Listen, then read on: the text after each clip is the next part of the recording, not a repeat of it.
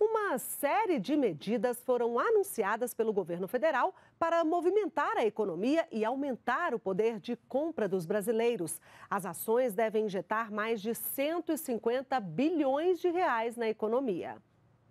Uma das iniciativas é o decreto assinado pelo presidente Jair Bolsonaro, que antecipa o 13º salário de mais de 30 milhões de aposentados e pensionistas do INSS. O pagamento será dividido em duas parcelas iguais, a primeira em abril e a segunda em maio.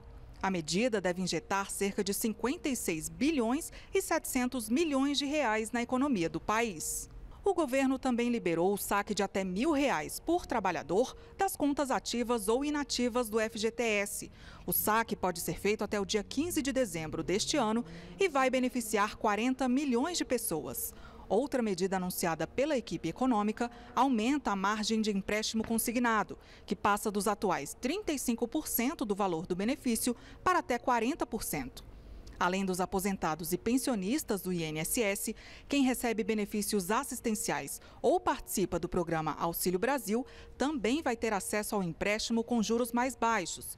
Com isso, o governo espera beneficiar mais de 50 milhões de brasileiros e entregar cerca de 77 bilhões de reais em empréstimos consignados para esse público. Essas ações todas, elas atingirão entre 80 a 100 milhões de vidas de brasileiros e brasileiras.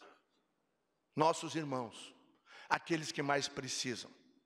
Os volumes poderão atingir, dentro dos próximos seis meses, ministro Paulo Guedes, sob a sua liderança, 165 bilhões. Outra medida provisória cria o Sim Digital, que simplifica o acesso ao crédito digital para pequenos empreendedores. O programa deve beneficiar mais de 4 milhões e meio de pessoas já nos primeiros meses.